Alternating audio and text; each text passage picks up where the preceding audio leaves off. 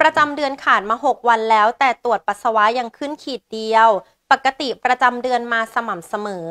ตอนนี้มีโอกาสท้องหรือไม่ต้องรอกี่วันถึงจะตรวจเจอนะคะ ก็ถ้าหากสมมติว่าในกรณีที่เราเพิ่งจะขาดประจำเดือนนะคะ ยังไม่ถึง 2 สัปดาห์นะคะ ก็ต้องบอกก่อนว่าณเวลานี้ค่ะ ถ้าหากว่าประจำเดือนยังไม่มา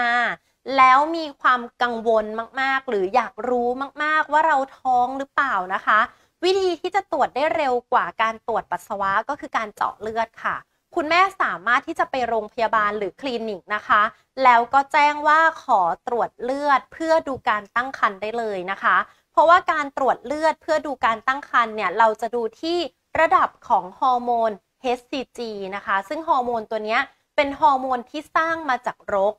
ราะฉะนั้นค่ะหลังจากที่มีการปฏิสนธิในอายุครรภ์ที่อาจจะพึ่งท้องก็ตามนะคะ เราก็สามารถเจอระดับของ HCG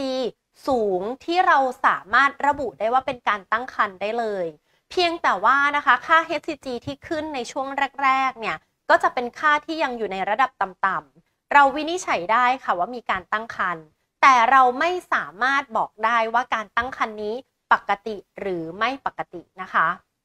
การตั้งครรภ์ทุกชนิดตรวจเจอว่าตั้งครรภ์หมดค่ะ ไม่ว่าจะเป็นท้องนอกมดลูกนะคะ เป็นท้องลม หรือเป็นการตั้งครรภ์ที่เด็กอาจจะไม่ปกติ อย่างเช่น เด็กอาจจะมีการหยุดเจริญเติบโต หรืออะไรแบบนี้ในอนาคตนะคะ ไม่ว่าจะเป็นการตั้งครรภ์แบบไหน